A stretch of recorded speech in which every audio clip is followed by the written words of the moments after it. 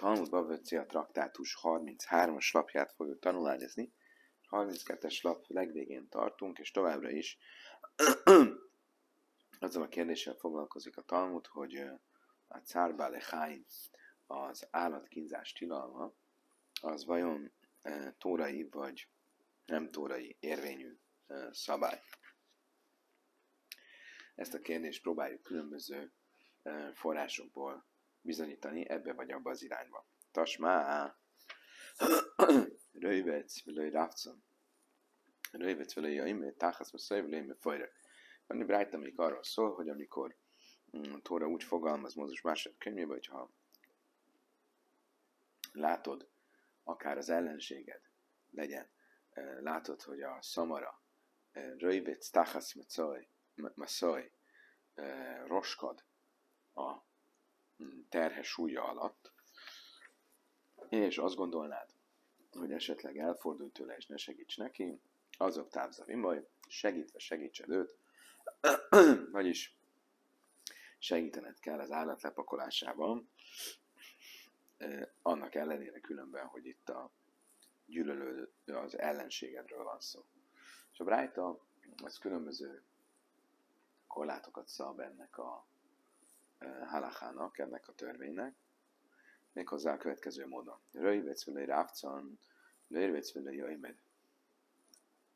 A Tóra azt mondja, hogy roskad, akkor ez arra utal, hogy úgy roskad, amely eltér a szokványostól.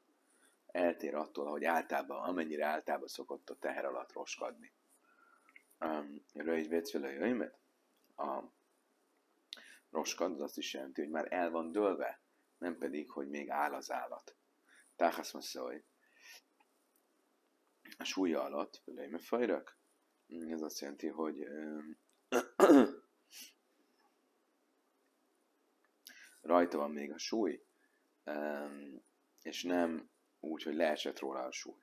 Táhasz masszaj, a súlya alatt, masszaj is jachalámat az azt is jelenti, hogy csak akkor, hogyha az a súly, amekkora rajta van, az olyasmi, amit általában egy állt el kéne, hogy bírjon, de hogyha eleve többet raktak rá, nos, mindezekben az estekben akkor nem vagy köteles segíteni neki. Vilmárt a Cábálhány de Rájsza, Máli Rejvic, Máli Rápca, Máli Aimed. Most, hogyha igaz lenne az, hogy a Cárbálhány, az állatkínzás, ez egy tórai tilalom, akkor ezek a korlátok miért, miért lennének? Kit érdekel, hogy most uh, um, roskad az a súlya alatt, és amúgy általában szokott-e roskadni, vagy kit érdekel, hogy um, az állat roskad, vagy, vagyis el van dőlve, vagy, vagy uh, tehát fekszik, vagy áll. Ezek a korlátok mi, mi, mi módon érvényesek? Tehát, hogyha az állat szenved, akkor az állatkínzás egy tórai tilalom, akkor mindegyik esetben fel kéne lépned. Azt mondja, a Talmud, ha menni, Rabbi Yitzhak Lili, de Ammár, Cábel, Chaim, Drabon. Azt mondja, a Talmud jogos a felvetés. Ebből a brájtából valóban úgy tűnik, hogy az állatkínzás tilalma az nem egy tórai, hanem egy rabinikus tilalom. Csak hogy ez amúgy nem az általános vélemény, hanem Rabbi Yitzhak Lili véleményét követő brájta. Aki tényleg azt mondta, hogy Cábel, Chaim, Drabon, hogy a állatkínzás tilalma az egy rabinikus tilalom csupán. Achene misztábra, és amúgy különben ez a feltevés, a Brájta itt a Jöjjszereg Lili nevéhez fűződik, ez amúgy is uh, koherens és logikus. De talán táhasz most szaim azt, és jacha lámad be, más sem által, hogy észleli hájszfar, a Jöjjszereg Lili, és Májmina, hiszen a Brájta azt mondja az egyik kikötésként, hogy akkor vagy köteles neki segíteni, hogyha olyan súly van rajta, amit általánosan elbírna. Most ugye ezt a kitételt, hogy olyan súly, amit általánosan elbírna, ezt ki más mond, mint nem a Bészeg mondta. Ugye mi, mi misnákban is a Bészeg azt mondja, hogy csak akkor, hogy köteles neki segíteni, hogyha olyan súly van rajta, amit általánosan elbírna. Mi mit ez muk meszléke a Bészeg Lili, a haktány táhasz ma szaj, vagy lajme fajrak, Májrő fajrak, illémű lémű fajrak lá. Azt mondtam, hogy várjunk csak. Bizonyos, hogy ezt Rabbi Lili mondta ezt a brájtát. Mi volt az egyik kikötése Brájtában, hogy amikor a Tóra úgy fogalmaz, hogy a, a, a a teher súlya alatt, akkor ez azt jelenti, hogy még rajta kell, hogy legyen a teher, és nem egy olyan esetről beszélünk, amikor a teher már leesett róla. Um, illé, mit jelent az, hogy nem olyan eset, amikor a teher már leesett róla? Lálhak, szép hakim taki mi, vagy előbb sita, leime fejrek behinam elem szaha.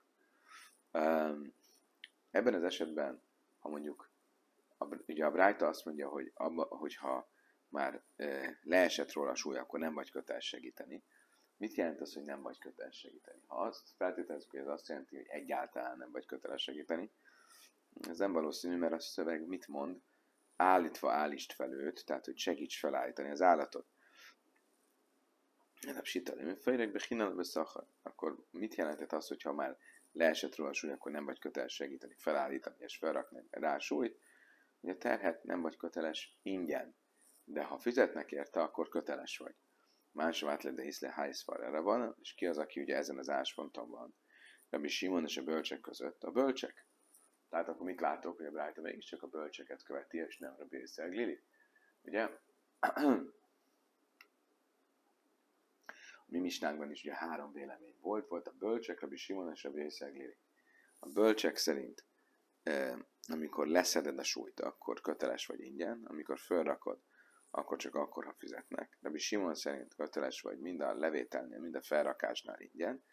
És a Vészeg Lili volt az, aki mindenféle kitételt mondott, például hogyha a keletén nagyobb súlyt raktak rá, olyan súlyt, amit általában sem nem bírt volna el, akkor nem vagy köteles neki segíteni. Most ugye a mi brájtánkban mi látszik, hogy a bölcsek véleményét követi a brájta, hiszen azt mondja, hogy nem vagy köteles segíteni, hogyha már leesett róla a súly.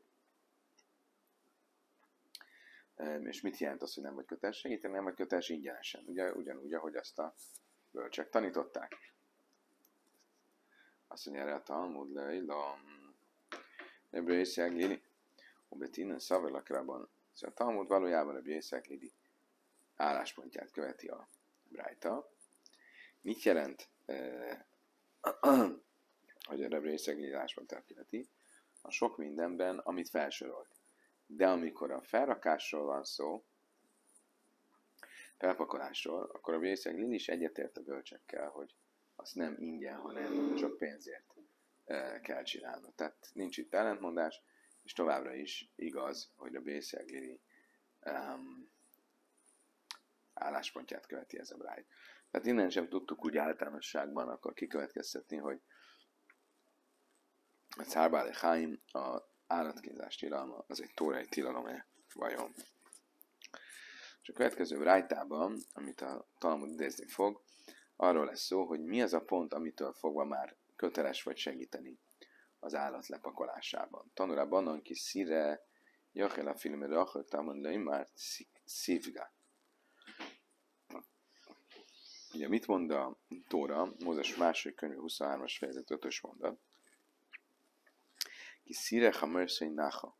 Ha meglátod ellenséged, vagy gyűlölőd, szamarát, röjvéc, táhász, szólj, hogy roskad a súly terhe alatt, amikor segítve segíts neki. Jachel a filmerachak. Ha azt gondolnád, hogy akkor is ez kötelessége, amikor nagyon messze van még, támad löj már ki szívga. Um, akkor a Tóra másik mondását érdemes beidézni, amelyik um, ugye egy mondattal korábban van, Mózes másik könyv 22-es fejezet. Bocsánat, nem egy mondattal, hanem egy fe... Igen, egy mondattal korábban van.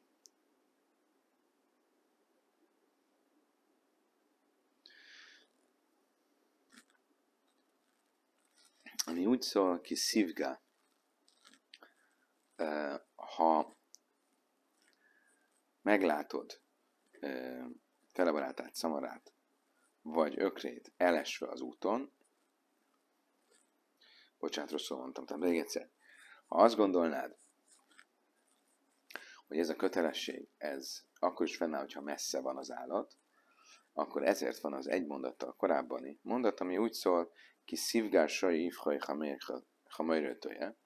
Ha, ha találkozol ellenséged ökrével vagy szamarával, amely el van veszve, hasértesi venelaj, akkor szolgáltat, szolgáltasd vissza azt neki. ugye itt akkor mi van? Gia mámas, Jakab Gia mámas. Ugye itt a Gia a találkozó szót ö, említi.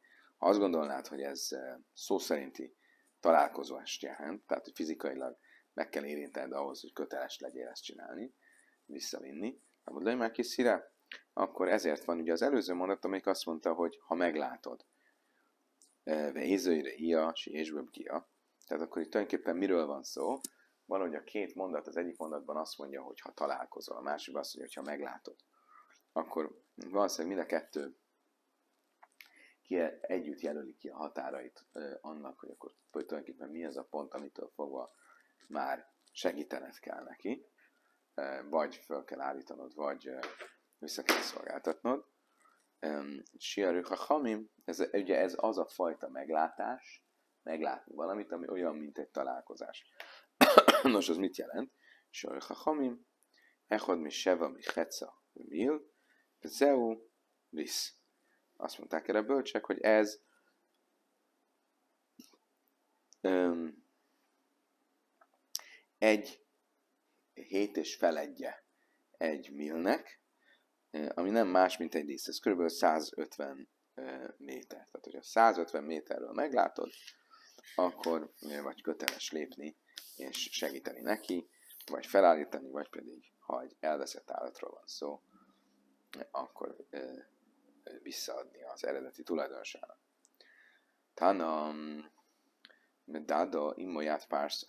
Azt is tanultuk a rájtában, hogy amikor segítettél fel, fölpakolni az állatot, akkor el kell kísérned egy pársa hosszan, tehát négy kilométer hosszan, hogy lásd, hogy valóban minden rendben van, és nincs további szüksége a felebarátodnak a te segítségedre. Amarában Hána nőjte szakar, azt mondta erre Rabba hogy ezért viszont már kérhetsz fizetséget, hogy most kísérgeted az állatot ilyen hosszan. Következő misnában, és ez ugye egyben a fejezetünk utolsó misnája, arról lesz szó, hogyha választanod kell különböző embereknek a talált, illetve elveszett tárgyai között, melyiket kell előbb visszaszolgáltatnod, kinek ki az elsőbséget. Például ki az elsőbséget az apád és a tanítómesteret között. Misna. Avi doszi, avi lesz avi, avi doszi, hogy demes. Um, Misna azzal kezdi, hogy ha a saját dolgot veszett el, és az apádnak is van elveszett dolga, most választanod kell, hogy melyiket szerezd vissza, akkor a sajátod előbséget élvez. Ami azt jól észrábai. És a lőkönyv demes. Ugyanígy, hogyha a sajátod vagy a mestered dolga között kell választanod, akkor megint csak a sajátod el, az elsőbséget. A védesz, amivel védesz rába és rába kédelmez. Ha az apád és a mestered közötti um, kell választanod mind a kettőnek az elveszett dolgát, nem tudod egyszerre visszavinni, akkor kielvez elsőbséget a mestered miért, és a aviv vélőjrem házba, rába is de hachmai vélőjre hájnam abba. Tehát az apád az csak erre a világra hozott téged. A mestered viszont a túlvilágra. Azzal, hogy Tórát tanít neked. Im aviv hacham, és az aviv kédelmesz. Ha viszont az apád is egy tóra tudós, akkor viszont az apád beelőz, és ő, él, ő élvez elsőbséget. Ha javive rába, hogy naiszin masszai, meniáhez se rába, vagy vágás meniás se aviv. Hogyha um, az apád és a mestered uh, mindketten küzdködnek uh, az állattal, a saját állatukkal, uh, amelyik roskad a uh, súly terhe alatt, akkor melyik él az elsőbséget? Először a mestered, és utána az apád. Ha javi, rábi, bebájsz, bebájsz a sevi, bejédesz rábi, a vib. Ugyanígy, hogyha az apád és a mestered mindketten fogságban voltak, akkor kit kell először kiváltanod a mestert, és utána az apádat. Imavi hacham pöjdesz, avive hágach pöjdesz. Ha az apád viszont egy tóra tudós, akkor megint csak beelőz, és elsőbséget élvez a mestered előtt. Hogy mit jelent a mester? azt még tisztázni fogjuk, mindestre idáig tartott a misna. Először a Talmud azt tisztázza, hogy amikor a Misna az elején azt mondta, hogy ha a saját elveszett dolgod és a mestered az apád elveszett dolgok között kell válaszolni, akkor a sajátod élvez előbséget, elsőbséget. Talmud azt kérdezi, mert Nahani Mili, honnan tudjuk, hogy ez valóban így van? Amar Evid Amar Ráv, Amar Kra, Efesz Kilaja, Veha Eviain, Sel Hakka, Idem, Sel Adam. Azt mondta erre a Rabbi Huda nevében, a Tóra, amikor úgy fogalmaz, Mózes 5. könyve 15-ös fejezet, Efeszkél a jöve, ha levje hogy so, ügye, soha ne legyen közted, vagy benned szegény. Ez arra utal, hogy arra kell mindenkel ügyelned, hogy te ne legyél szegény, és utána kell ügyelni, hogy a többiek ne legyenek azok, hogy ne legyél rászorulva másokra. Akkor ez azt is jelenti egyben, hogy ha könyvdömesel kaladom, hogy a, sajátod az elsőséget élvez a másokéval szemben. Amarabi Hudameráv. Akkor amikor bácmi kách, szép lint baj, kách. Viszont azt hozzátette ez a Júda, rám nevében, hogy mindenki, aki nagyon szigorúan így jár el, és um, mindig uh, sajátjára ügyel a másoké előtt, azzal való felvetéssel, hogy akkor így ő azért csinálja, hogy ne legyen soha ráutalva másokra, akkor a végén csak azért is rá lesz utalva másokra.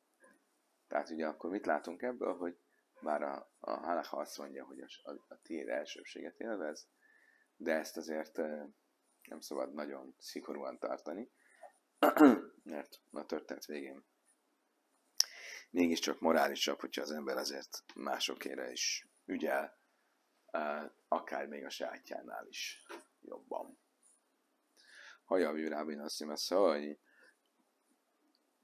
ugye a következő pont a misnában az volt, hogyha az apád és a mestered mindketten a teher alatt vannak, akkor az mestered a, az, aki elsőbséget élvez. Tanra bannan rabba és amru, rabba és de chachma, vele rabba és de mikra, misna. Rájtában azt tanultuk, hogy ez a mester, akiről itt szó van, ez nem akárki, ez az a rabbid, aki bölcsességet tanított neked, vagyis um, a Misna és a Talmud háttér uh, magyarázatait, értelmezéseit, de nem az, aki egyszerűen csak Bibliát vagy Misnát uh, tanított neked. Nivrebi Meir, ez Rabbi Meir álláspontja. Juda Imer Kol se Rév Chachmasza Imen, Juda azt mondta, hogy ez a mester, ez csak az, akitől a tudásod nagyobb részét, eh, legnagyobb részét tanultad. Rabbi Jöjszé, mert a filulai helyén a vele misnáhász zehurábaj. Rabbi Jöjszé viszont azt mondja, hogy ha csak egy misnát is tanított neked, akkor az már a mesterednek számít. Amer Rave Kegoin Rav Schoira de Asberon Zu Hamol Listeroin.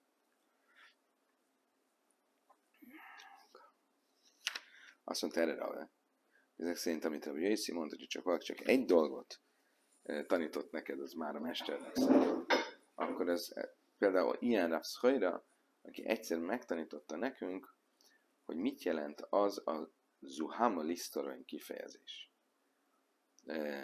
és ugye elmondta, hogy ez egy olyan kiskanál, ami egy ilyen kostoló kiskanál.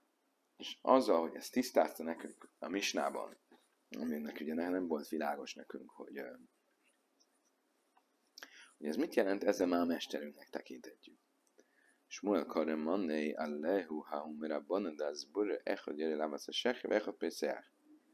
Vechad Pesach ki van.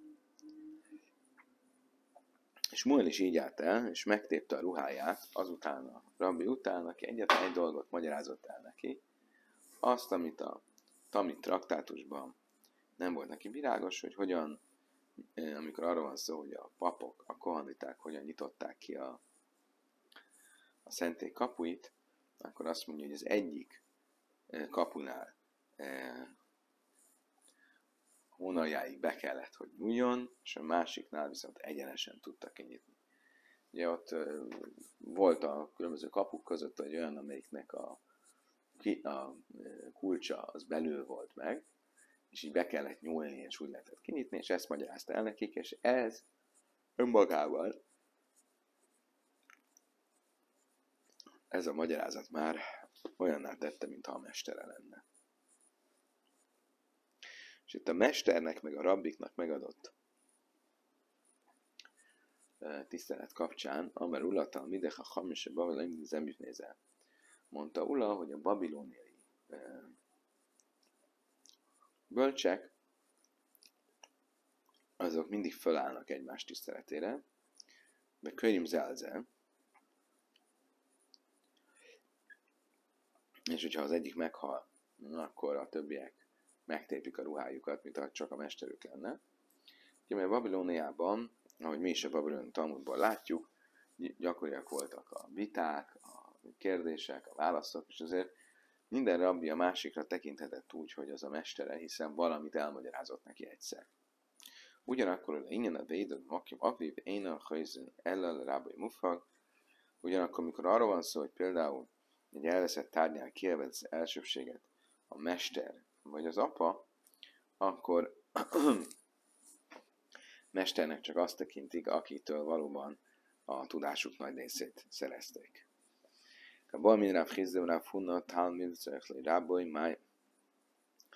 Chizda egyszer azt kérdezte ennek kapcsán a Funától, mondta, hogy egy tanítványnak e, olyan tudása van, e, amire az ő rabbiának is szüksége van, akkor innentől fogva a rabbia a tanítványát rabbiának tekintheti? Vagy kell tekintenie? Amelé hizde hizde le itzrechnelach átszécheli ádárba is nincs. Ugye Rav Hizda kérdezte ezt a Funától, és a Funa félreértette, és úgy értette, hogy itt valami személyeskedésről van szó. És arra akar utalni Rav Hizda, hogy de a Funának szüksége van rá e, az ő tudására. És erre azt mondta neki, megsértődött Funa, és azt mondta, jaj, Hizda, Hizda, én nekem nincs rá szükségem. Te neked van, volt rám szükségem 40 éven át. Ik például a Dodi, vagy a Dodi, ezek egymásra megsértődtek, és um, nem is jártak utána többet össze. Azt mondja, a Frizdár Baita Nisszam is mondja, Halas Dajte, Drafuna. Ezt Drafunárba Tanisszam is mondja, Hás de Rav Később, amikor um, kivékültek, akkor 40 bőjtöt ült Rav Hizda, azért, mert uh, akaratlanul is megsértette Rav Hunát, és 40 bőjtöt ült Rav Huna, mert rosszat feltételezett a tanítványáról, Rav Hizdáról. Itt már Viccak be Jézsef, Amar Rabbi Hanan, Hallachak, Rabbi Huda. Um, most akkor a fenti vitában, hogy ki számít mesternek, ugye ennek kapcsán, akkor nézzük, hogy különböző bölcsek mit mondtak. Mitrebe Jézsef azt mondta a nevében, hogy a Halakára Judát követi, vagyis, hogy akár csak ha egy dolgot is tanított neki, akkor az már mesterének számít. Mi a már Rabbi Jéhanan Achi? Lehetséges, hogy tényleg ezt mondta Rabbi Jéhanan?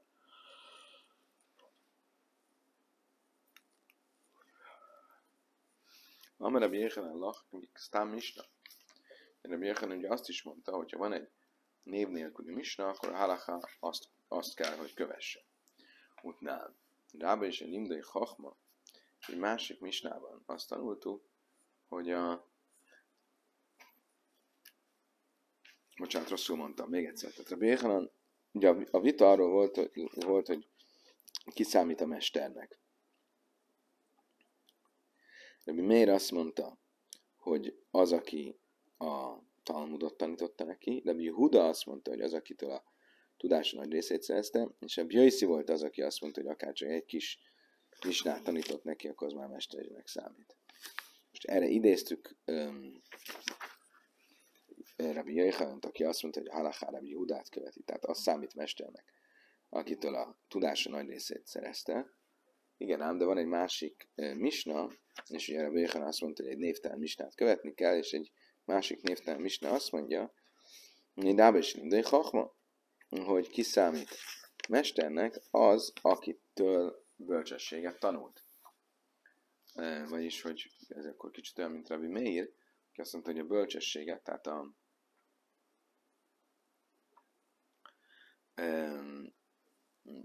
a Talmudnak a magyarázatait, bölcsességét tanulta.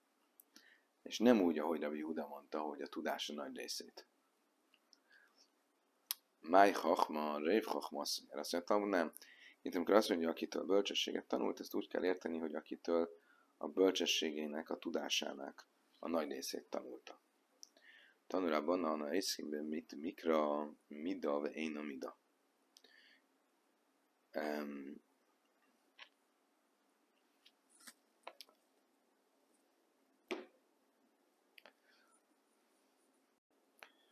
Most a következő brájtában a Tóra különböző részeinek a tanulmányozásáról és az azoknak való egymáshoz való viszonyáról lesz szó. Mit érdemes tanulni? Ugye általában a Tóra tanulmányokat három részre bontja a Talmud. Van a Mikra, tehát maga a Biblia szövege, van a Misna, ami tulajdonképpen a halachát jelenti, tehát a száraz törvények, és van a Gemara, ugye a Gemara, amelyik a Misnát magyarázza, ami elmélyíti a, a halachán mögötti e, tudást. És ennek kapcsán azt mondta a Bright, a tanulában, a iszkemi mikra, mida, veina, mida. Ha valaki tanáhot, tehát Bibliát tanul, az szép dolog, de hát nem eléggé szép dolog. Én ugye mást is kéne, hogy tanuljon. Misna, mida, veina, valaki misnát tanul, az már egy szép dolog, amiért akár jutalmat is kaphat. Mara, én lehag midag dajla bizu, ha valaki gemarát tanul, annál nagyobb dolog nincs is. Lajlam hevér le misna, jöjj szimileg mara. Ugyanakkor az ember mindig szaladjon misnát tanulni még jobban, mint a gemarát. Hagufa kásja, a Márta gemara, én lehag midag dajla bizu, de a Márta lajlam hevér le misna, jöjj szimileg mara, azt mondta, hamut hány csak, de egy olyan ellentmondás. Azt mondod, hogy a gemarának a tanulásánál nagyobb dolog nincs, és utána meg azt mondod, hogy mindig az ember siessen, igyekezzen misnát tanulni, mert az még jobb, mint a gemara. Amire bijöjjön, mi mélyre binnis nis misnözú. Safki kulan azt niszim, az a bassz a gemara. Hát a stébla, élem hevire azt misna észre a gemara. Azt mondja a Talmud, következőt válaszolt erre Jéhanan. Először Rebi idejében Rebi, Rebi idejéből származott ez a tanítás, és Rebi idejében fontos volt, hogy ne csak a misnát, hanem a Talmudot is tanulják, hogy elmélyüljenek abba a tudásba. Ne csak a leírt misnák, halachák legyenek meg, hanem a mögöttes háttér is. És később az emberek teljesen elhanyagolták a misna tanulását, és csak a gemarát tanulták. A dörs, de leírem hever ez misna, és megvan, és ezért hozzátették azt, hát hogy az ember ezért igyekezzen misnát tanulni jobban még, mint gemarát, az emberek kezdték hanyagolni a sima halachikus tudást, és rá, túlságosan rátértek a talmudi háttérre. Máj darús, azt mondja, Talmud, honnan vesszük ezt? Mint tényleg ez a tanulás ö, normális vagy követendő ö, menete. Huda ben Rabbi Lai, Májdich szép haged le Amni Pissamul Bész Jákov Hatta Iszam, ahogy Rabbi Huda ben Rabbi Lai tanította Ézsaiás 58-as első mondatából alapján. Úgy szól, mondd meg népemnek bűnöket, és Jákov házának védküket. Mondd meg népemnek bűnöket, élőt a hamim, és kigasz, lászalem közdainsz. Um, akik, mondd meg népemnek bűnöket, az a tóra tudósok, akiknek a véletlen, az önszántán kívül elkötött bűnök olyanoknak számítanak, mint a e, szándékos bűn. Miért? Mert e, lett volna lehetőségük jobban elmélyülni a halachában, több mistát tanulni, és akkor nem vétettek volna. A Béc Jákob Hatoszom, Eilu Harec, és a Jákob házának védküket, ez pedig a tudatlanokra vonatkozik, és ezt Stálszalem és Gagész, akiknél még a szándékos bűn is egy kicsit olyan, mint az önszántukon kívüli, um, mert hát nincs tudásuk, és ezért nem érzik a dolgoknak a súlyát. Hányit nára Júda, mert hevi zerbe támad, és igaz támad az. Ahogy a Júda is tanította, hogy ügyelj nagyon a tanulásra, mert a tanulás elmulasztása miatti önszántalan kívüli vétek, az olyan, mint hogyha szándékos lett volna.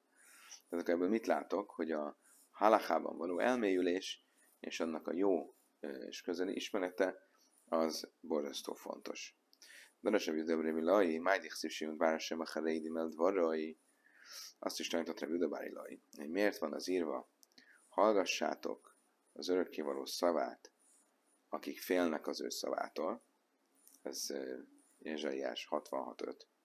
Én utána, de ha hamim, ez a Tóra tudósokra vonatkozik, hogy akik félik Isten szavát, azok hallassák Isten szavát, vagyis mélyüdjenek el benne. Imru a Héchem, mondjátok meg testvéreiteknek, Élu Bálimikra, ez a, azokra vonatkozik, akik a Tanach, a Biblia szövegét jól ismerik. Szóval Néhem, Élu Bálimisna, a ti gyűlölőtök, az pedig azok, akik a Misnát jól ismerik. Mert a Déhem, akik ki vannak átkozva, ez pedig a tudatlanok.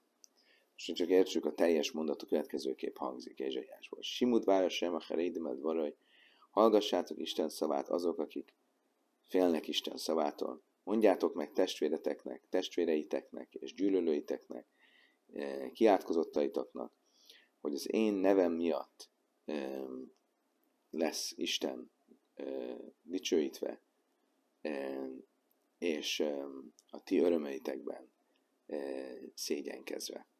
Ugye ez egy ilyen megfedése a népnek, és itt amikor felsorolja, akkor a felsorolásban, ugye felsorolja a zsidó népet, akkor a felsorolásban ott van azok, akik hallgatnak Isten szavára, akik félnek a szavától. Ezek a tudósok, az, a testvéreitek, ezek azok, akik a Biblia szövegét ismerik, a gyűlölőitek, ez azok, akik a misnát ismerik, és azért nevezi gyűlölőiknek, mert azok ellenségeskednek, és gyűlölik azokat, akik felváról veszik az ő tudásukat. Ugye a, a Gemara ismerői, akik a misna mögöttes tudást ismerik, és Menadéchem, és aztán végül ugye azok, akik ki vannak átkozva, azok a tudatlanok. Sem a már passzák, szívrom a batászikujam. Talmud leiben nem iszim hászhem. Sem a töjme Iszrael jivajsú, Talmud leiben vehém jivajsú. Ezek a havim jivajsú, vagy Iszrael iszmechó. És mit akar a mondat mondani? Ha arra azt gondolnád, hogy elveszett az esélye annak, hogy ezek egymás örömében örüljenek, tehát a zsidó név különböző frakciói, akkor ezért mondja a mondat vége, hogy majd látni fogjuk, vagy majd Isten neve tiszt, meg lesz tisztelve, és látni fogjuk örömeitekben.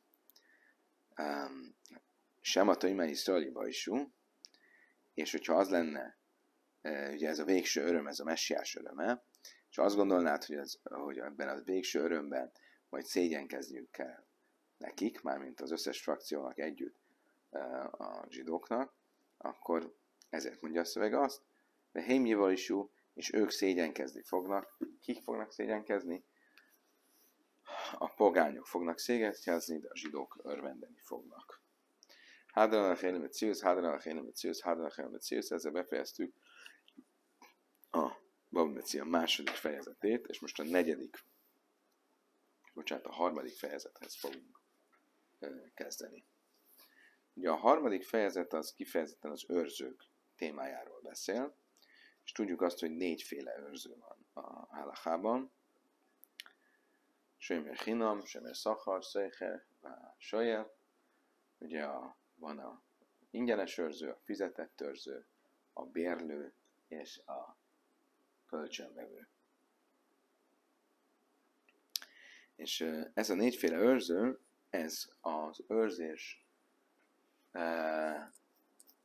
se járó haszonnak a szintjének megfelelően jár felelősséggel. Tehát más a felelőssége a ingyenes őrzőnek, mint a, a fizetett őrzőnek, és megint más a felelősség mondjuk a kölcsönvevőnek. A kölcsönvevő, akinek a legnagyobb haszna van ebből az egész ügyletből, ő az, aki adott esetben a legnagyobb felelősséggel is bír. Oké, okay. azt is tudjuk, hogy akkor ennek megfelelően mondjuk, hogyha egy ingyenes őrzőről van szó, az ingyenes őrző, hogyha a rábízott állatnak valamilyen baja esik, akkor mentesül mindenfajta fizetési kötelezettség alól. Az egyetlen eset, amikor nem mentesül, az az, hogyha kifejezetten, károsan, szándékosan, kártevően vagy viselkedett. Most a Misna azzal fog foglalkozni, hogy mi van akkor, hogyha valaki um, egy ingyenes őrzőnél elhelyez egy állatot, és um, azt ellopják. Ugye ebben az esetben uh, normálisan az ingyenes őrző megtehetné azt, hogy megesküszik, hogy ő nem uh, járt el felelőtlenül, vagy szándékosan károkozólag. Uh, megesküszik, hogy az állat valóban nincs nála, és így akkor mentesül a fizetés alól. Ebben az esetben a később meg lesz a tolva, és ezt tudjuk ugye a korábbi, főleg a babakáma féle tanulmányainkból, hogy a tolvaj az e, kétszeres fizet, e, ha pedig levágja az állatot, mire megtaláljuk, addigra négyszerest vagy akár ötszöröst. Ebben az esetben, megvan a tolvaj, akkor kinek fizet? Az állat tulajdonosának. De mi van akkor, hogyha e, az őrző, ugyan mentesülhetne a fizetés alól, de ő mégse akar mentesülni, és megesküsz, és nem akar megesküdni, hanem inkább kifizeti az állatot. Ebben az esetben, ha később meg lesz a tolvaj, akkor a kétszeres, vagy négyszeres, ötszörös fizetségi kötelezettséget azt felé kell, hogy fizesse, és nem pedig a, a tulajdonos felé. A mávkére cechabére bémai kélén mindig nagó és avdó, ha valaki elhelyez ingyenes őrzőnél egy állatot vagy eszközt, és az elveszett vagy ellopták. Silem vele egy racelis savá, ha ezek után az őrző nem akar megesküdni, és inkább kifizeti, Seri Amrusai, hogy Hénon Nisbe Jöjce, ugye meg, lehetne, meg lenne rá lehetősége, hiszen azt tanuljuk, hogy az ingyenes őrző megesküdhet, és hogyha megesküszik, akkor azzal mentesül mindenfajta fizetés alól. Nimca a gándom, és nem teslim, még kéfel, tavachomáchamet, és nem hamisa, ha ezek után meg lesz a tolvaj, és ugye kétszeres kell, hogy fizessen, vagy még az is lehet, hogy a közben levágta az állatot, vagy eladta az állatot, akkor négyszeres vagy ötszöröst kell, hogy fizessen, de mi mesálem, kinek fizet ilyenkor a tolvaj? De mi is a pikadineckai az őrzőnek, és nem a tulajdonosnak. Miért? Mert az őrző már kifizette az állatot az elején. Viszont nincs bával nem? Ha, ha viszont inkább megesküdött az őrző, és nem akart fizetni, akkor ezek után nincs a ha meg lesz a tolvaj, mert sem teslum egy kéfet, ha már sem teslum ha akkor kinek fizeti a duplát, illetve ha közben eladta, vagy levágta, akkor kinek fizeti a négyszerest, az ötszöröst, de mi mes sálen le bállapikade. Kinek kell fizessen ilyenkor? A tulajdonosnak. Idáig tartott a Misna, most a Talmud azt kérdezi, Lama lele miszne behém, vagy lama miszne Ezt a logikát, ezt teljesen értjük, de nem értjük, hogy miért kell, hogy a misna külön beszéljen állatról, meg eszközről. Ha valaki elhelyezett egy őrzőnél állatot vagy eszközöt, akkor így is így van. Mi szükség van külön van egy állatot vagy eszközöt? Céhi. Itt a behima, behima, áva minna behima, de máknerek félem is, de ne fistilhal, elnyúl a fuka. Szerintem azért volt szükséges, mert ha csak az állatot mondta volna, akkor azt jelentük volna, hogy csak az állat esetén áll fönn az, hogy ha ő fizetett és nem akart esküdni, akkor a kétszerest a tolvaj majd neki fizeti meg. Miért? Azt mondtuk volna, hát igen, mert hát nagyon sok feladat volt itt a őrzőnek az állattal, és tulajdonképpen ennek az ellentételezése az, hogyha egy ilyen helyzetbe kerül, akkor legalább a dupla fizetség, amit a tolvaj ad, az az övé legyen. Ával krém de lajnap is hájú, én mellői máknélek féle, viszont amikor a eszközről van szó, akkor azt gondoltuk volna, hogy az eszközzel nincsen sok baja az őrzőnek, és ezért ott ne legyen az övé a dupla a, a dupla fizetés, amit a tolvaj ad.